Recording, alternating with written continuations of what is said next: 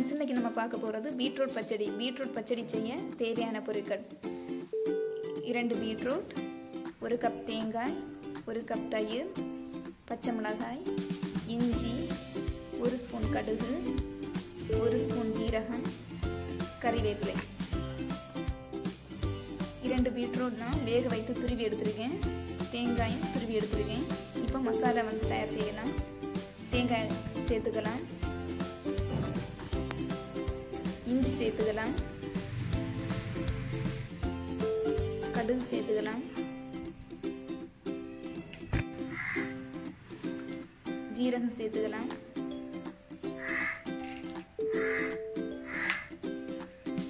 காரத்துக்கு ஏற்றவாறு பச்சை மிளகு சேர்த்துக்கலாம். இதை எதுவுமே மிஸ் ஆகக்கூடாது. இப்போ பேஸ்ட்டாக ரெடி ஆகிருச்சு.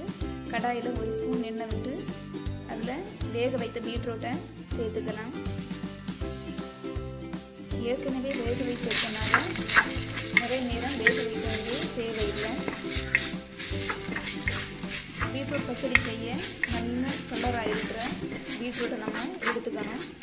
அப்போ தான் நம்ம தயிரெல்லாம் சேர்க்கும்போது நல்ல கலர்ஃபுல்லாக இருக்கும்.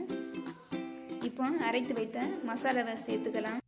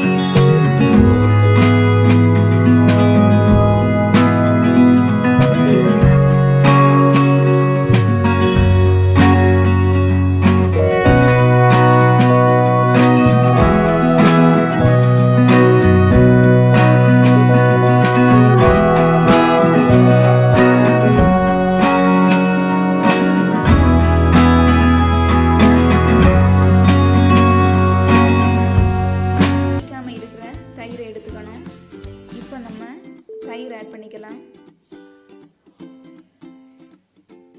தயிர் ஆட் பண்ணும்போது சிம்மிலே வச்சுக்கணும்.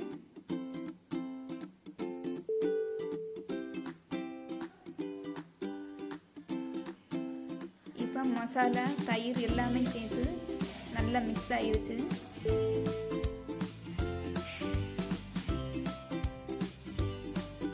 கொஞ்சம் கறிவேப்பிலை ஆட் பண்ணிக்கலாம்.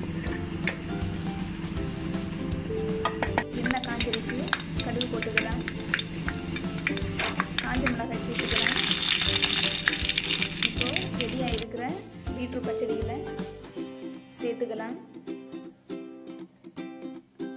கலர்ஃபுல்லான டேஸ்டியான ஹெல்த்தியான பீட்ரூட் பச்சடி ரெடி ஆயிடுச்சு இது நம்ம ஒரு காரமான குழம்புகள் கூட சைடாக இதை வந்து சாப்பிடும்போது அவ்வளோ டேஸ்டியாக இருக்கும். இந்த ரெசிபி பிடிச்சிருந்தா லைக் பண்ணுங்கள் ஷேர் பண்ணுங்கள் சப்ஸ்கிரைப் பண்ணுங்கள் தேங்க்யூ